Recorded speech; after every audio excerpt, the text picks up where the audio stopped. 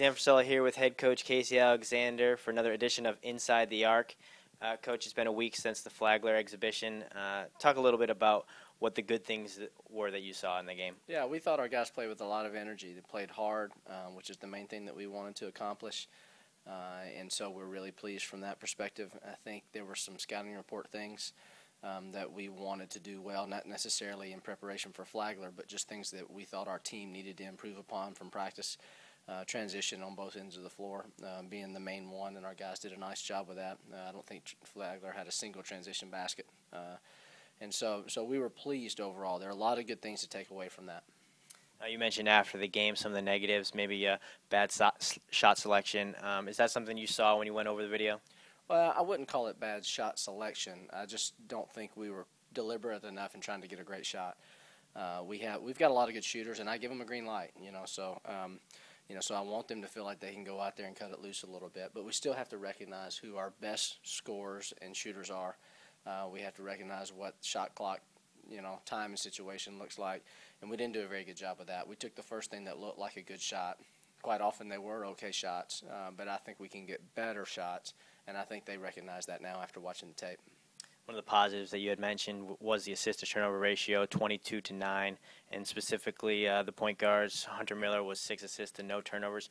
Talk about what the team was able to do and how important that is for you guys this season. Yeah, it's really critical. I mean, that was a very problematic area for us last year. Anybody who watched our team knows that we struggled with that. Uh, game in, game out. It became contagious. Uh, and but that stat, uh, assist turnover ratio, is really in a large part comes down to point guard play, and uh, it, not only their numbers but setting the tone for everybody else. And and Hunter and Logan have both really.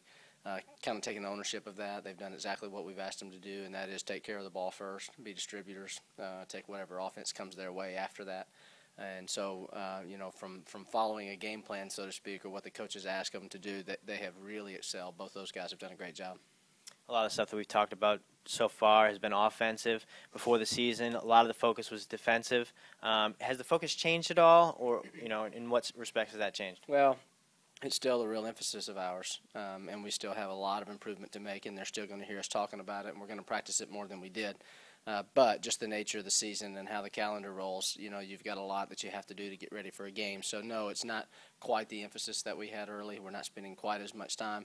Uh, there are just too many other factors that we have to get ready for to be able to play games, and you know. But I do hope that um, over the course of time this season, that that that people will see a significantly better defensive team, and we all know without a shadow of a doubt that we have to be better if we have any expectations for having a good year. Um, now, getting into the regular season coming up Friday at Miami, 5:30. That game will be on ESPN three.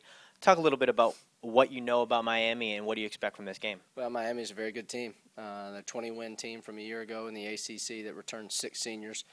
Uh, their expectations of themselves are very high, and they should be. Um, I think anybody who looks at it, you know, will say that they're, a, you know, they, and they already are a borderline top 25 team. So we know that our hands are full uh, by playing a really talented, good veteran ACC team. Uh, we could leave it said. That could be the end of the story right there for sure. But uh, even more specifically, you know, they've got a lot of size, and, and they have a lot of size um, that are weapons. You know, they can play the game, uh, they can do what their coaches ask them to do, and so uh, that's naturally creates a lot of fear for us, uh, and it's something that we'll have to, you know, really scheme to, you know, to counter this week. All right, thank you, coach, for taking the time.